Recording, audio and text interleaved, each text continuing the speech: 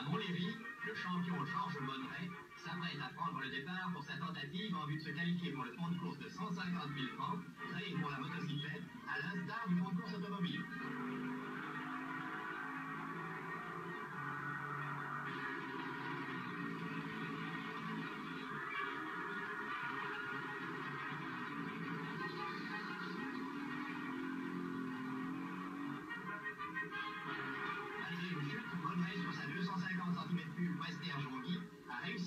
les 125 km très accidentés du circuit avec 7 secondes d'avance sur le temps imposé de 1 h 6 minutes 22 secondes, s'assurant ainsi sa qualification.